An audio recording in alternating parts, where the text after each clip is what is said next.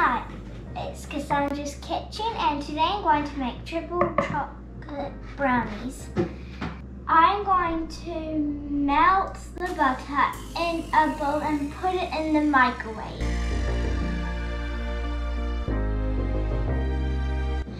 Next we're going to put one cup of sugar in. Next we're going to put two eggs in.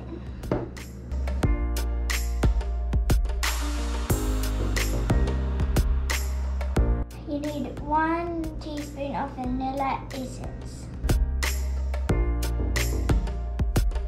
Now we're going to put in a sieve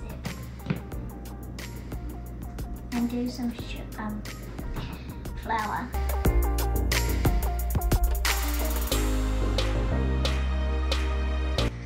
Next we're going to do half a cup of cocoa.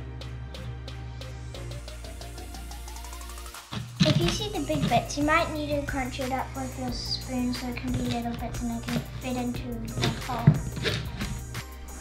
We are going to put a teaspoon of baking powder in this Now chocolate chips. This is my favorite part. And one for me. Next, we are going to mix it up.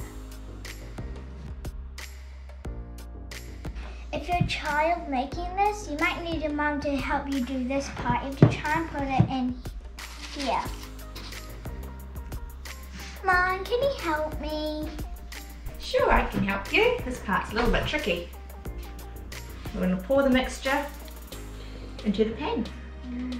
This looks yummy. It does, doesn't it? Mm -hmm. And then after, me and my sister can lick it. Licking the bowl is your favourite part, isn't it? Uh-huh. Now it's time to put the brownie in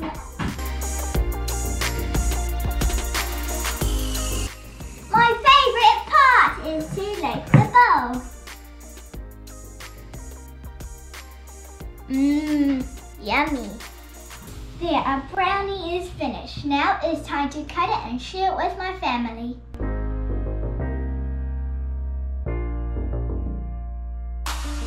And I share it with my family. Mmm.